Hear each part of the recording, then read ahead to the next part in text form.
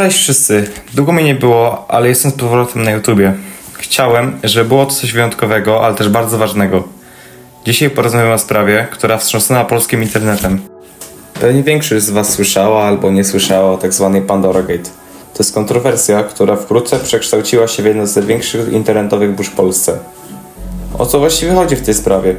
Otóż Konopski, Wartęga oraz kilka innych osób publicznie oskarżyli Stu, Dzisowskiego, Buxela oraz paru innych o pedofilię.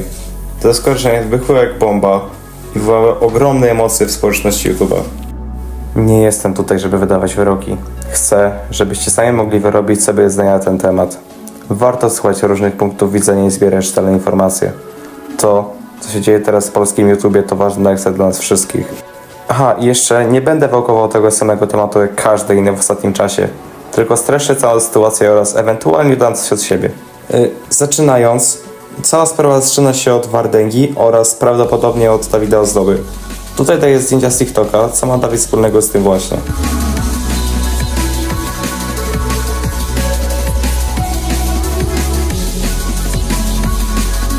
Wychodzi z tego fakt, że mieli oni już wtedy plany na rozpoczęcie sytuacji, ale wraz ze śmiercią pokrzyżowały się one. Jednak Wardęga dalej się nie poddał i zaczynał drążyć tym sam. Jeszcze trzeba zwrócić uwagę na fakt, że Konopski nie miał wtedy dobrych relacji z Wardęgą. Jednakże po pogodzeniu się i rozpoczęciu współpracy było już tylko lepiej. E, Potem wylały się pierwsze brudy na takich ludzi jak przykładowo Gargamel, Goncia Szczeniłem, Lakarnum, gdzie Gargamel miał grymować swoją byłą, nieletnią dziewczynę.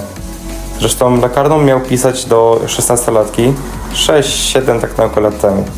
Jednakże w jesień Lakarnum zaznaczył, że był to sporadyczny filtr i nigdy się nie przeniósł na realny świat. Po czym podkreślił, że jego to niesprawiedliwe. Nie wiem jak wam, ale dla mnie wiadomość ta dziewczyna wygląda trochę co najmniej na satyrę. Ważne jednak, że nie przejął się aż tak tą sytuacją i dalej robi filmy. Z Gargamelem ta sprawa wygląda nieco inaczej, bo jego była dziewczyna opubliczniła nagrania, gdzie ten na nią między innymi pluje. Film na TikToku jest przeplatany innymi kłótniami pomiędzy nimi. Na jednym nagraniu Gargamel szarpał tę dziewczynę. wpływ na to, ale... Co ty zrobiłeś? Dlaczego na mnie plujesz? Jeśli chcesz poznać bardziej szczególnie całą tę sprawę, zapraszam na TikToka dziewczyny. U Gonciarza sprawa jest inna, bo on musiał wykorzystywać dużo młodsze od siebie osoby z uzależnieniem od dragów. Podobno miał on mówić im, że ma narkotyki i daje mnie, jeśli zrobię mu loga. Przepraszam za słownictwo, ale ciężko inaczej to ująć. Miał on również mieć parę innych patologicznych sytuacji.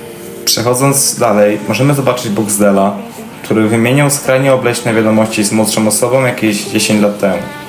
Załączam teraz screeny. Boxdel na obronę mówi, że same wiadomości były w innych czasach, nie do końca na poważnie oraz odbiło mu, jak zobaczył pierwszy pieniądz z YouTube'a. Jednak nie powinniśmy go teraz stawiać jako pedofila. Nie, nie, żadne z tych rzeczy. Bo to tylko jedna taka rzecz, jak mówi. Nie czyni go to pedofilem. Aczkolwiek przyznaje się do swoich e, wiadomości, które napisał i bierze całą winę na siebie. Dizowski miał wysyłać na snapie dziewczynce prośbę o nudesa, jak podaje dziewczyna. Ona się nie zgodziła i chyba poczuła się dziwnie, że tak wielki youtuber ją o to prosi. Niedawno ta sama osoba ze snapa, która wysłała dziewczynie prośbę o to, wysłała no, na, snapa z napisem przepraszam. Lisowski w oświadczeniu nie chce podawać dowodów na jego niewinność, przykrywając się organami ścigania. Jeśli zobaczymy, jak ta sprawa się potoczy, ewentualnie napiszę o tym na karcie społeczności na kanale. Dodam od siebie, że na snapie dosłownie wszystko da się podrobić. Więc myślę, że dosłownie każdy mógł wysłać tej dziewczynce takie wiadomości. Przechodząc do Stu i Lubiela. Stu miał flirtować z 14-letnią dziewczyną. Doszło nawet do spotkania, gdzie podkreślał co chwilę, że boi się, że policja go zobaczy. Miał on do niej jak ona spała. Dziewczynka nawet nie zrozumiała, o co mu chodziło. Chociaż może jej dobrze. Razem z Dubielem wysyłali wiadomości oraz głosówki typu tylko ja i moje 14.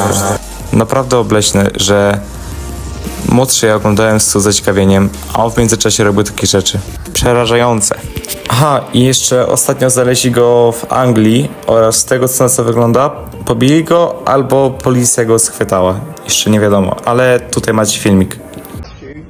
You'll get it now. Yeah. Yeah, you'll get it back now. For what? You're on camera rating him, mate. I don't give a shit. He was in. I told you not to. What? Yeah. I'll go. Dziękuję, że poświęciliście czas na obejrzenie tego filmu.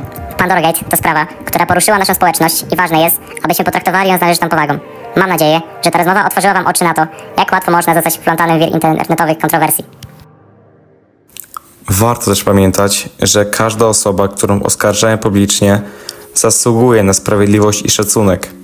Internet to jest potężne narzędzie, ale z mocą ta idzie ogromna odpowiedzialność. Mam nadzieję, że ta historia skłoni nas wszystkich do refleksji nad tym, jak używamy swojego wpływu.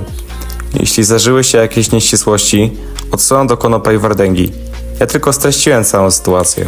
Teraz chciałbym usłyszeć Wasze myśli. Co myślicie o tej całej sprawie? Czy uważacie, że to, co się stało, przyniesie jakieś zmiany w polskim YouTubie? Zapraszam Was do rozmowy w komentarzach. To ważne, abyśmy mogli zrozumieć różne perspektywy. Jeszcze raz dziękuję, że byliście ze mną. Wierzę, że w przyszłości możemy zbudować lepszą społeczność na YouTubie. Do zobaczenia w następnym filmie. Pamiętajcie o szacunku i odpowiedzialności.